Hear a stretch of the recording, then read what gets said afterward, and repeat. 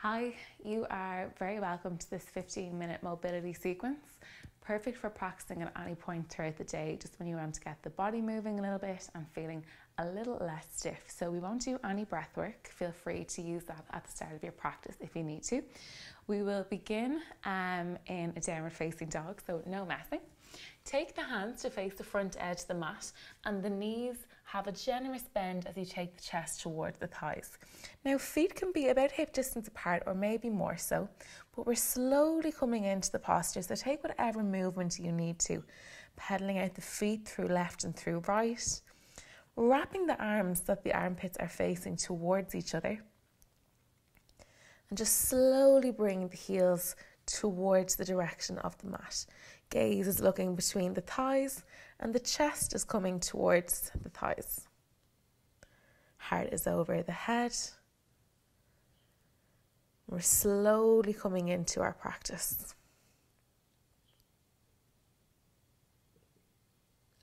From here, find stillness and we'll ripple through to take a high plank. Now, the shoulders are in line with the wrists and the back is flat. Arms are strong, legs and core are engaged.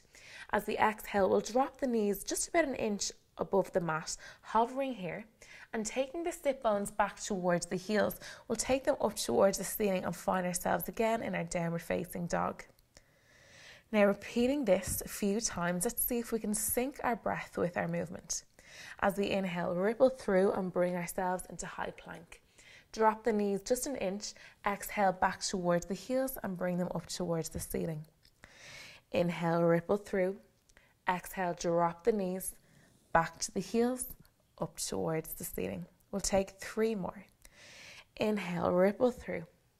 Drop the knees, knees towards the heels, up towards the ceiling. Inhale, ripple through. Drop the knees, knees towards the heels, up towards the ceiling.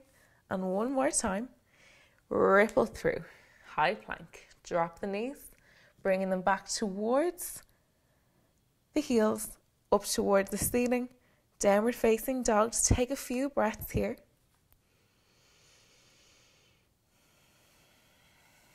In and out of the nose. We'll try and steady and slow down our breath, aiming to sync it with the body.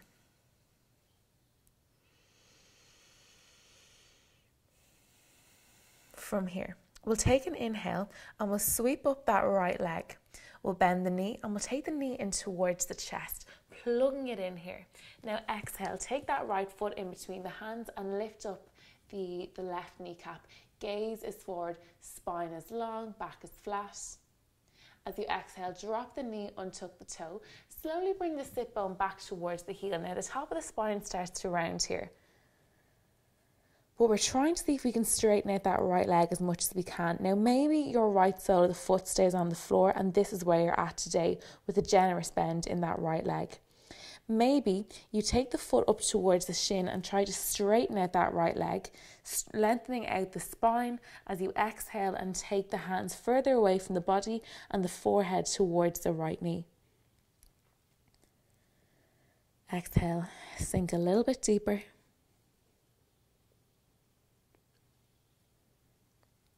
And as you inhale, slowly bring yourself back. Back is flat, gaze is forward, bending generously into that knee, framing the front foot. We'll tuck the left toes and we'll lift the left kneecap. On an inhale, take the hands first of all onto the right shin and then in line with the ears.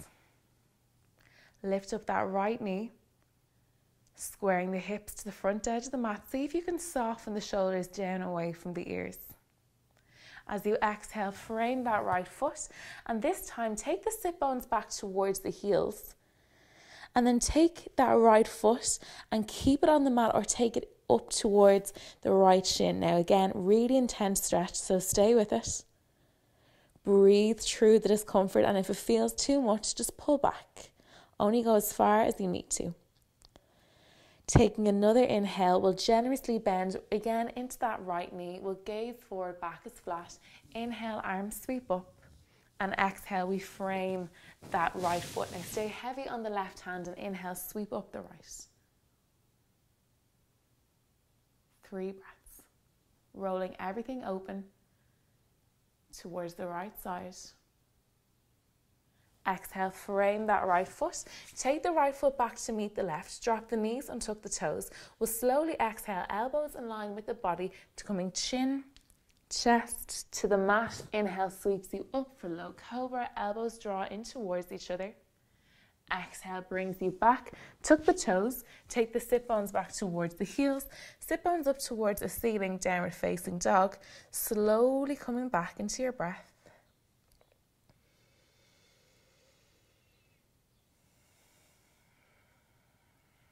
And we'll get ready to take it on the opposite side. On an inhale, sweep up that left leg, bend the knee, and take the knee in towards the chest, rippling through, really dramatic in your movement, seeing where you'd like to foot the foot to land, and slowly exhale, bring it in between the hands. Drop the knees, untuck the toe, back as flat, gaze as forward. As you exhale, take the sit bones back towards the heels, top of the spine starts to round, left foot stays where it is, or maybe the left foot comes towards the left shin as you take your forehead towards the knee and lengthening out the spine here, staying with your breath. Drawing everything inwards Gaze forward on an inhale. Bring a generous bend back into the knee. Now tuck the right toe, lift the right kneecap, and on an inhale, sweep the arms in line with the ears. Hips face the front edge of the mat. Lift up that right knee. Arms are strong, but dropping the shoulders away from the ears. Try and be a little bit soft in your movement. It's very tempting to hold tension, particularly when we have to remember to breathe also as you exhale, frame that left foot. Now take the right heel towards the mat. As you inhale to add length in the spine, and as you exhale to bring the heels towards the mat, forehead towards the knee. Maybe the left leg lifts up, maybe it doesn't. See what you need and honor that.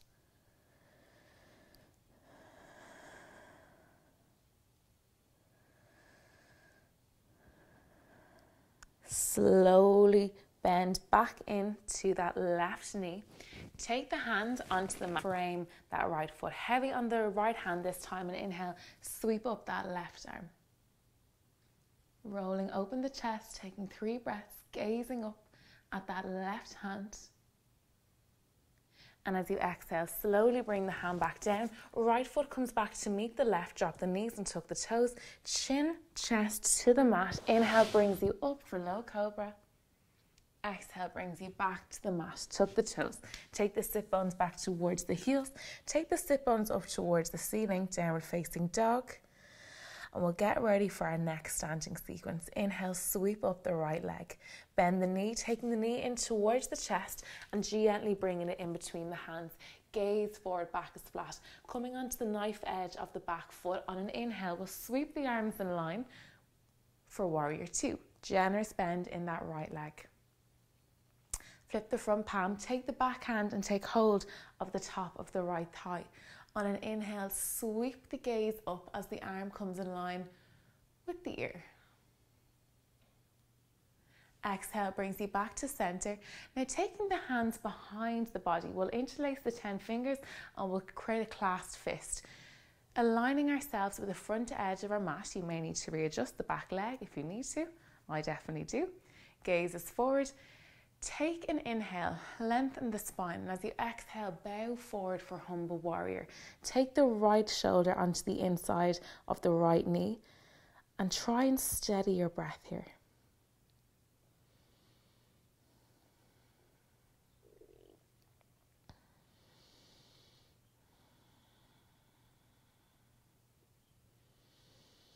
On an inhale, slowly make your way back up to center, straightening out that right leg and taking it in the direction of the left so that we're both, our feet are parallel and they're both facing the long edge of the mat here.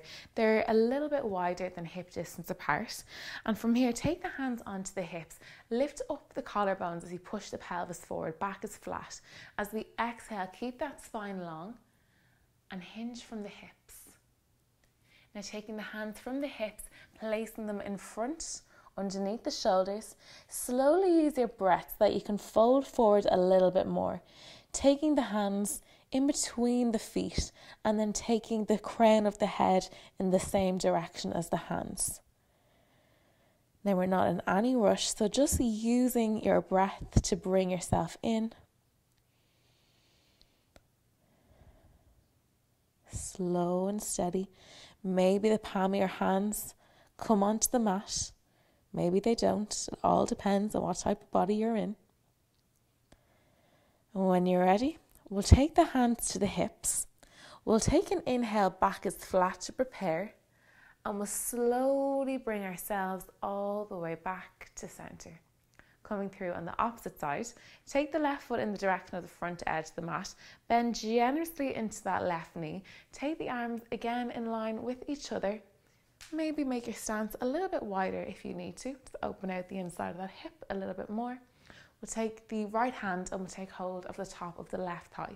We'll flip the front palm and on an inhale, we'll allow the gaze to come up.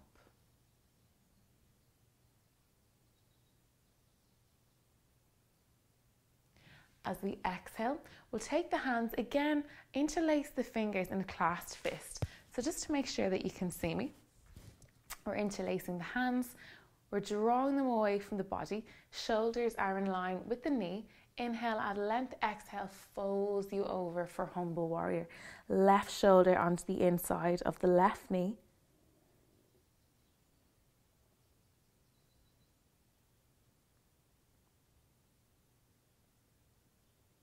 three breaths. On your next inhale, slowly make your way back to center. Straight out that left leg. Take it in the direction of the right leg this time, okay? So our hands are still going to be interlaced behind the behind the body. And we'll take another wide-legged forward fold. So your feet are in the direction of the long edge of the mat. Interlace the 10 fingers, clasp the hands, take them away from you. And as we exhale, we'll keep the back flat and we'll slowly hinge from the hips. Now, consciously trying not to hyperextend your shoulders and not taking them any further than they want to go. If this is too much on the shoulders, come back to the first pose that we did with the hands on the hips. If you're here, the forehead is still coming in the direction of the in between center of your feet.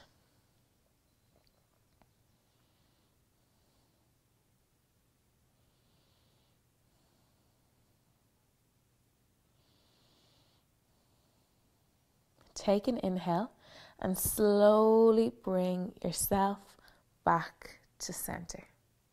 Okay, we'll pivot the feet towards the left side of the mat. We'll slowly windmill the, oh, no, we won't, okay.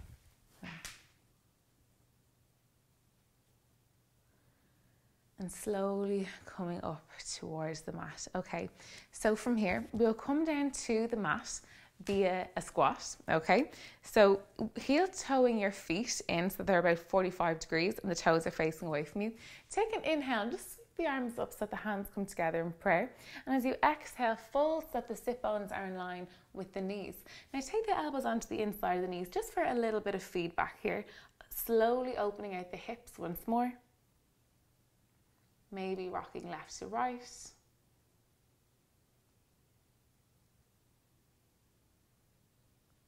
Really gentle movement. And when you're ready, slowly take the hands behind the sit bones and just bring yourself down towards the mat. So we'll take the legs out long and to finish off, we'll just come into a reclining pigeon. So slowly lower yourself all the way down to the mat. Take this, the heels and have them about hip distance apart. You should be able to graze your heels here with your fingertips. Now take that right sole of the foot and bring it over the left knee. Flex that right foot in the direction of your shin just to protect the knee, drawing the knee away from you. We'll interlace the hands behind the left thigh or maybe on top of the left shin. And now the left toes are coming in towards the shin. Should feel a really nice stretch on the outside of the right thigh. Slowing down your breath here. And as we exhale, we'll take that left foot to the mat. We'll uncross the right leg and we'll take it on the opposite side. Left foot is over that right knee. Gently draw that left knee away from you and flex the foot in, in towards the left shin. Now, taking the hands, interlacing them behind the thigh or maybe the top of the right shin bone. The right foot is coming in towards the shin, opening out. That left hip. And when you're ready, slowly take the right foot to the mat, take the left foot to the mat, take both knees in towards the chest and wrapping the top of the shins, just gently rock left to right, massage out that lower back. When you're ready, bring yourself over to your right side, right hand brings you back up to center and crossing the legs, a very quick flow, but very effective nonetheless. If you would like to take a Shavasana, please feel free to at the end of your practice. If not, hands are coming together in prayer and just thanking the ancient tradition of yoga. Namaste.